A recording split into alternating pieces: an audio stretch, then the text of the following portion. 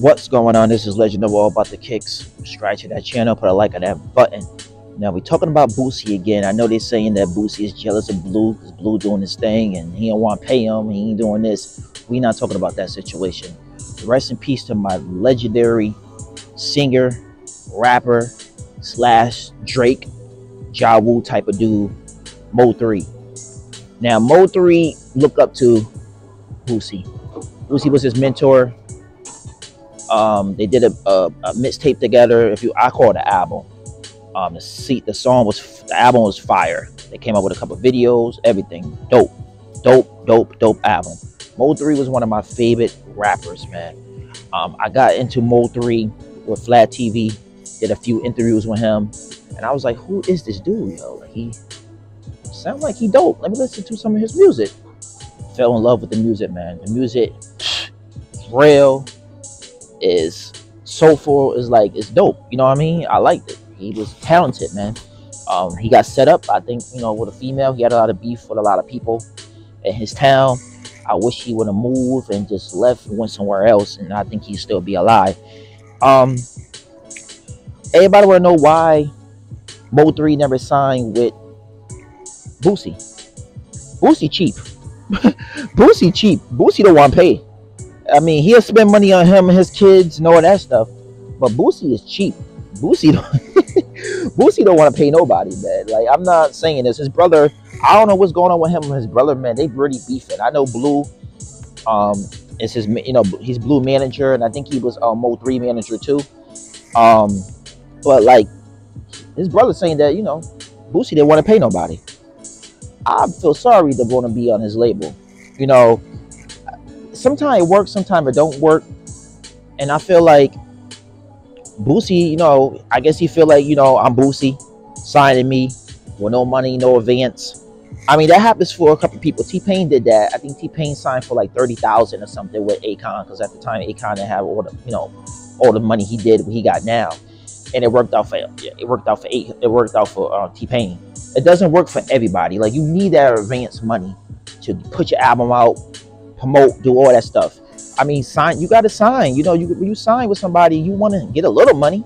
You know what I'm saying? Who wants to go to a label and don't have no money and you, you know what I mean? And then you sign the paperwork and then you out of luck. So that's why Mo 3 didn't sign with Boosie. He wanted to sign with Boosie, but Boosie didn't want to pay. And like I said, they still did albums together. They still did mixtapes and all that, and they all was fire. I feel like when Boosie did, a, you know, a song with Mo 3, it just came out crazy. Mo Deep, Mo 3 now to pick the beats out. And it was just out of control. Like I said, I wish they would have still did music together, but you know, Mo 3 died, got killed in Dallas on the highway. And I just feel like that shit was crazy. We lost too many good rappers, man. He was so talented that I don't know where he would have been right now. Like he definitely would have signed to a major label. I know he was independent he definitely would have had a major deal, six figures or something like that, and um, it would he would be, he would have been out of here. He was ready out of here already. His he had, you know what I'm saying. He had a nice fan base and everything. Like I said, I, he grew on me, man. Like I first heard his album, I was like, yo, this dude's a beast. You know what I mean? He had a, a you know a real child, a real um messed up childhood a little bit. Went to jail for a couple times, and he changed his life and just started making great music. You know what I'm saying? And um, I feel like you know a female set him up. It happens all the time. Females always set somebody up. But that's the that's the situation with Boosie, man. Boosie, you gotta pay your people, man. You know what I'm saying? I guess that's why Bleu don't want to pay you. Let's top it.